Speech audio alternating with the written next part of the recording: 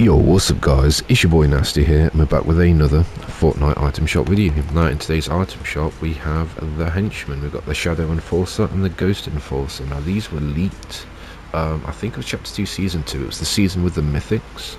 These were leaked to be coming to the item shop, and it's taken them like 4 or 5 seasons, but here we go.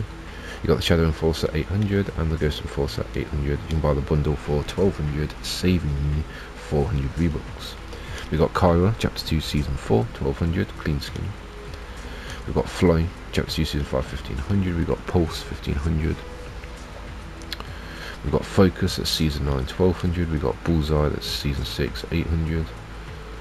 Uh, we've got Loserfruit, Chapter 2, Season 3, 1500. We've got Lachlan, uh, Chapter 2, Season 4, 1500.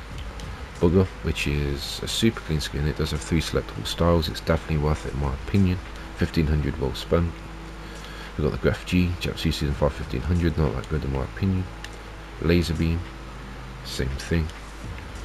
Ninja is probably, I think, my personal favourite out of the Iconic series. It's a super clean skin. Chapter 2 Season 1 1500, and we've got Snake Eyes that does come with the pickaxe included.